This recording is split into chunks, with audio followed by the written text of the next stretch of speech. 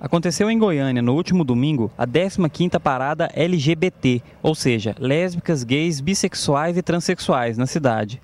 O evento contou com cerca de 50 mil participantes e as passeatas ocorreram nas avenidas Araguaia, Paranaíba e Tocantins.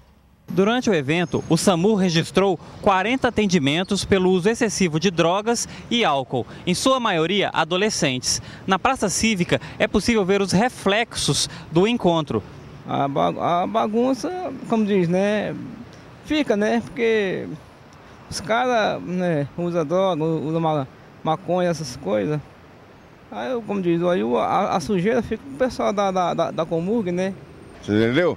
Eu acho que dá para dividir sem bagunça. Já que eles querem ser, todo mundo tem é, direito de ser o que quer ser. Entendeu? Mas não bagunçando, desordem. Entendeu? Respeitar o direito dos outros como qualquer uma outra pessoa, mulher. A mulher também não, não comporta. Por que, que eles não podem comportar? É andar pelado, mostrando a bunda, esfregando um no outro, aqui beijando no, no, no, no, no, nos terminal. Mas pra que isso, rapaz? Tem, tem filho, tem filha. Não precisa isso.